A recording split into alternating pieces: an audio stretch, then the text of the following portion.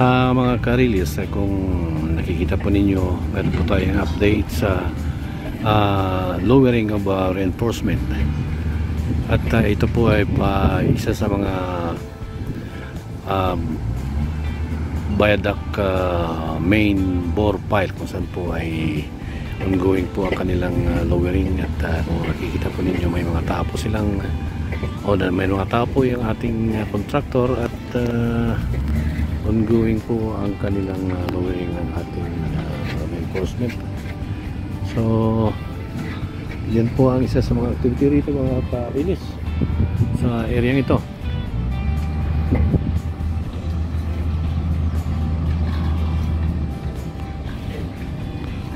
Ah, sir. Anong one file number ito ano? Ah, 780 number 4 sir. 780 number 4. Ah, okay. 780 po, ah, P4, okay. Kailan mo po ito? Ah, ah, sa alas 4 yung ano ninyo, ah, tentative. Okay. Maliwan dito, meron pa ba kayong kwan? Ah, ah, doon sa kabila, no? TP11. Mm. May anong pa nila doon? 805? No, parang nakita ko, 805 eh. Ikaw ba ang ano rito? QC? Hindi. Site? Ng EDGB? Ah, okay. Ang ano nga? Pangalan no? Jeff po. Ah, si Jai ka pala yung nakikita ko palagi nag ah, ano ng ano, nag ano sa GC ng mga pictures. So, okay, lahat ng activity rito no. Ikaw pala yun. Mm. EDGB Jeff. Yan, ayun nga, naalala ko. Ah, sir, morning.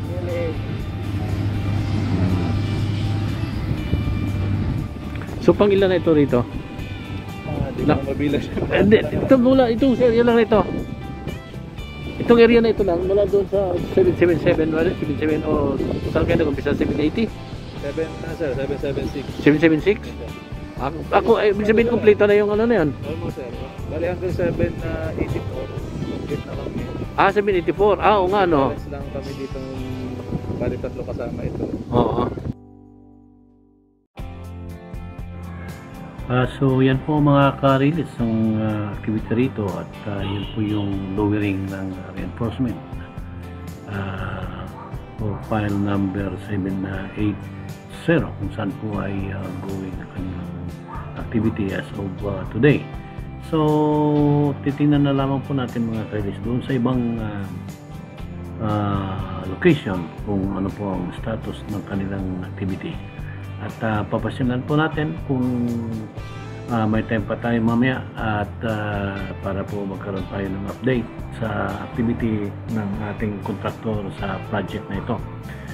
So, yan po mga ka-reads. At ito naman po ay, ito yung ah, lowering of ah, reinforcement. Or cage sa reinforcement. Kung saan po ay nakikita po ninyo sa kaliwa. At yung sa kabila naman po mga ka-release ay yan naman po yung uh, um, installation of uh, temporary steel uh, casing.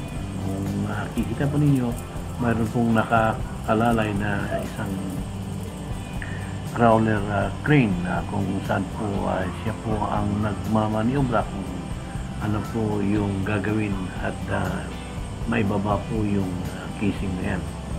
Yan po ay prior to drilling. Kung napapansin po ninyo, uh, yan po at uh, medyo mataas, mahaba po yan. Ngunit hindi po natin alam as of today kung ano po ang length ng uh, o yung haba ng steel casing na yan.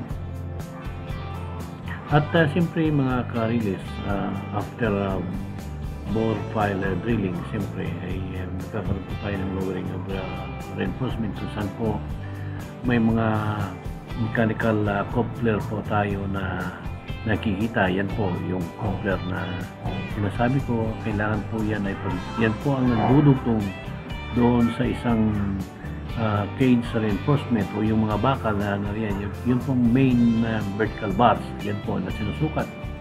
Uh, kailangan po nilang sukatin dahil nga po ay uh, kailangan na i-balance ang thread na nakapasok doon sa coupler.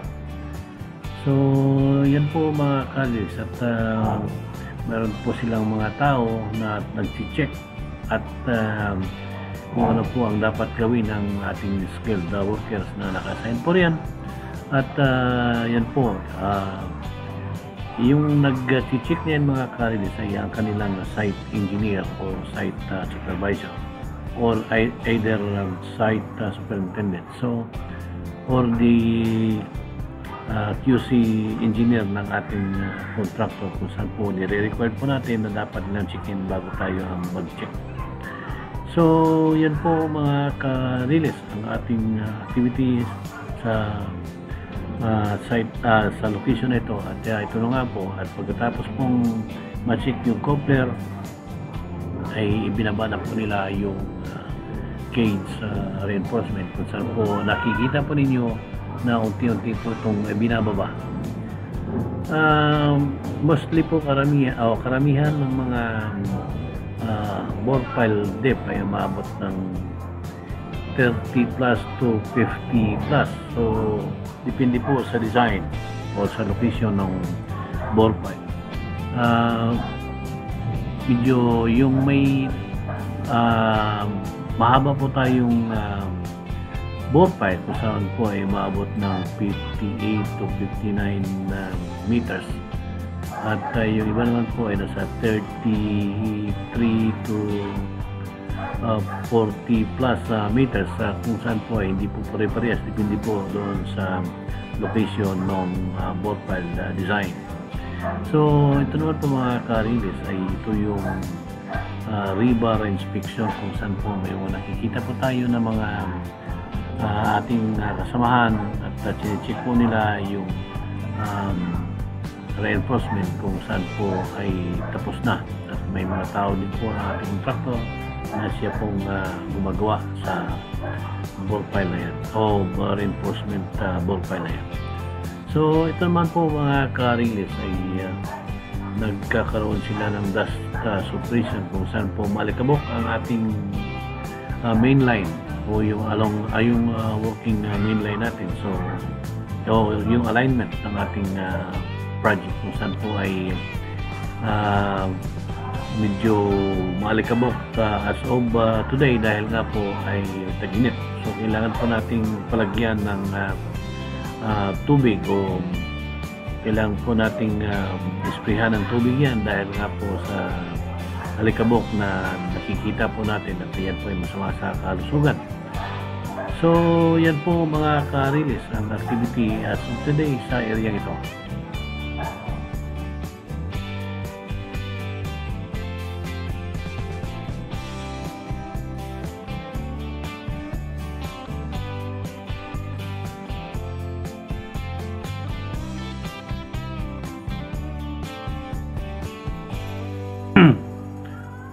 Naman po mga kalili, siyempre po pagkatapos po ng lowering of uh, reinforcement uh, case ay next step po mga kalili ay pagbubuhos o concrete casting ng ball pile. Kung saan po mga kalili ay dumating na po yung first uh, truck ng uh, uh, konkrito kung saan po ay uh, uh, nag-umpisa na po sila ng uh, pagbuhos ng uh, ng uh, board file kung saan po nakikita po ninyo at uh, yan po ang uh, sitwasyon ngayon sa area ito ito po ay somewhere in uh, Sendalan area kung saan po ay uh, going po ang kanilang concrete uh, pouring of uh, board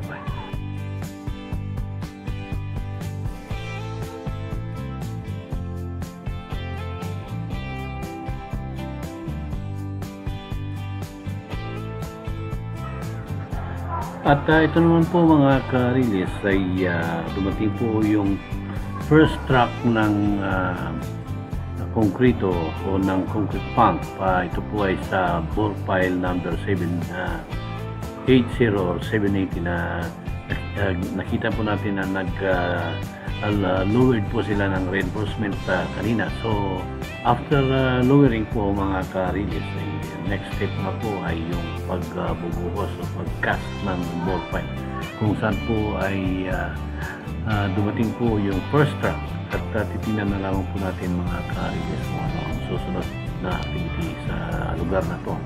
Ito naman po mga ka-release, ay ito po yung along uh, Pier Bayadak main line from Pier um, uh, 5 uh, uh, 15 to Pier 5 uh, 26. Ito is somewhere in Santo Tomas uh, area kung saan po napakarami po ang mga equipment na gumagalaw dito. At ayan po nakikita po ninyo meron po tayong drilling rig uh, backhoe roller uh, crane at uh, marami pa pong iba.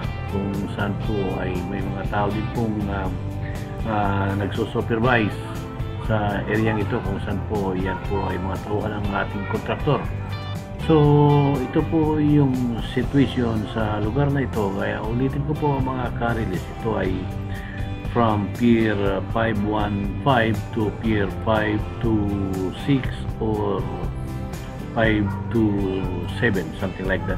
So, ito po mga karilis. Gaya po nung nasabi ko, napakarami po ang ating nakikitang equipment uh, sa lugar na ito dahil nga po full blast ang kanilang activity ng uh, bore pile uh, drilling sa area ito. Kung yan po nakikita po ninyo, uh, yan po yung mga equipment na naka-assign uh, po dito sa area ito. So, continuous po mga karilis sa kanilang uh, bore pile drilling at siyempre po yung casting at the same time may uh, kinicheck po natin at uh, pinapasadahan po natin at tinitingnan po natin kung ano yung mga activity nila. So, siyempre po, may mga delivery din po sila ng reinforcement kung saan po nakikita po ninyo. Ayan po ay sa mga bore piles kung saan po ay yung diameter is uh, 1.5 uh, meter. At uh, dadalhin po niyan doon sa isang lugar na kung saan po ay tapos na po yung bore pile uh, drilling.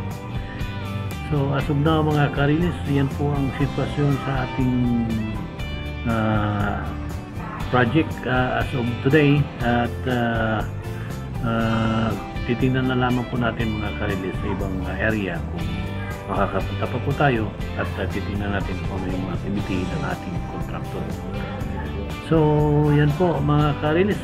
At um, bago po ang lahat mga karilis ay uh, shoutout muna tayo sa ating mga kaibigan.